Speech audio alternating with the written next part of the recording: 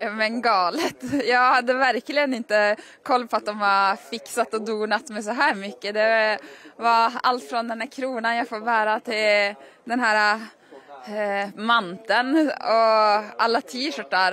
Jag har ett långt namn så imponerande hur de har summerat. Och, ja, det är klubbkompisar, det är landslagskompisar, det är ja, publik, eh, min fanclub och familj som är här på plats.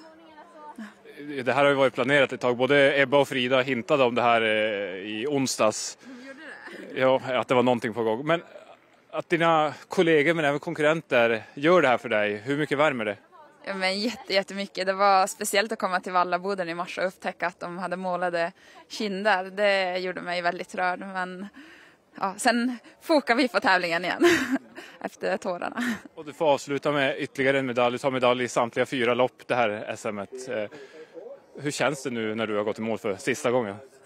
Ja, men det känns, det känns bra. Det var kul att tävla idag, en fantastisk publik. Det, var, eh, det är ju en ganska publikvänlig bana. Vi eh, passerar på ganska många olika ställen så det känns som att man har hört röster överallt.